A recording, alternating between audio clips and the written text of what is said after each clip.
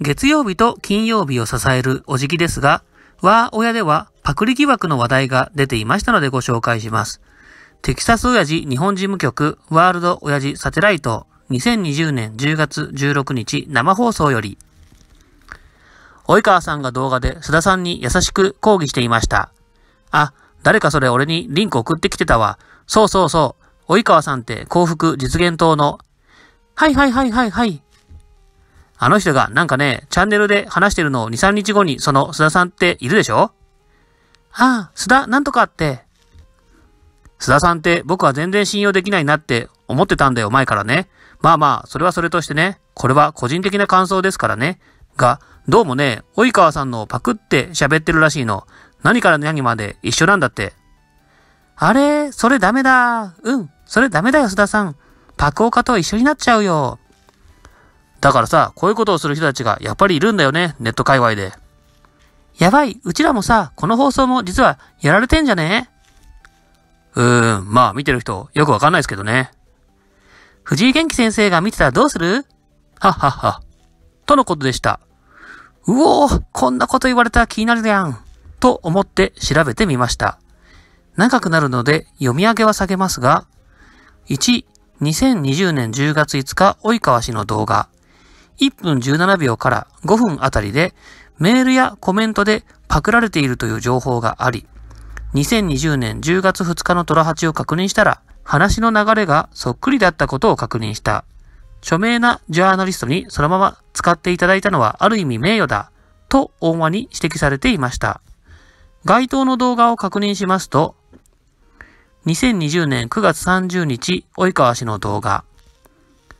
2分、アンケート60対28という結果だが、質問相手は民主党候補者。こちらはアメリカ大統領選の話です。2分41分あたり、争点、暴動、バイオレンス vs ウイルス。3分15分、全部 V で韻を踏んでいるんですね。7分4秒、争点、バイデンの息子ハンターのお金。中国は君のランチを食べた、ジョー。真実じゃない、真実じゃない。10分30秒争点。バイデンが作った黒人を犯罪人にした法律1994年犯罪法。15分48秒争点最高裁判事という話の流れでした。そして該当の虎ノ門ニュースですが、2020年10月2日金曜日の虎ノ門ニュースです。11分30秒に史上最悪の討論会、世論調査はバイデン氏上回る。というニュース項目で須田さんの解説が19分頃から始まります。19分30秒くらい、バイデン有利。世論調査。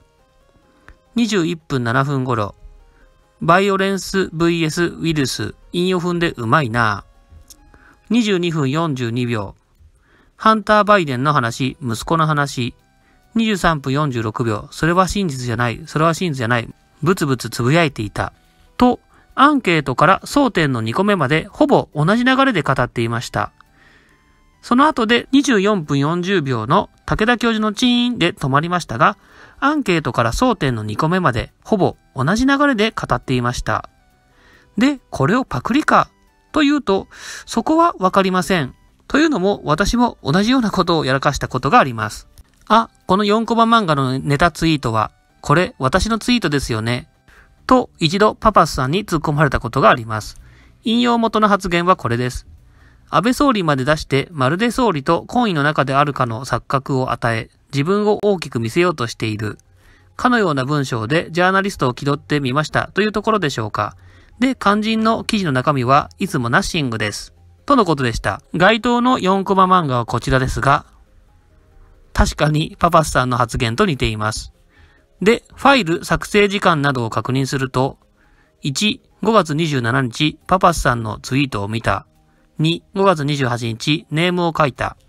3、5月30日、パソコンで書いたという流れだったようです。このあたり、謝罪したブログ記事でもう少し詳しく述べています。言い訳にしか聞こえないと思いますが、4コマを書いた時点で丸パクリしたって自覚は全くありませんでした。その後、この4コマを使う際は、参考、パパス様のツイートと一文入れています。関係ないですが、このパパスさんとはこれがご縁で親しくなりました。面白いのでフォローさせていただきます。動画チャンネルも登録しようと思いますが、ブログ下の動画のリンクエラーでリンク先に飛びませんが、とおっしゃっていただきました。人と人の縁は不思議で何がきっかけになるかわかりませんね。話がそれましたが、須田さんをかばうわけではないですが、パクるつもりがなかったかもしれません。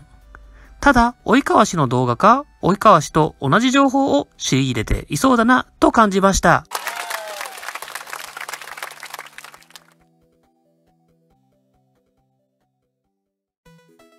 健康くんはこの後、パパス信者になったんだよね。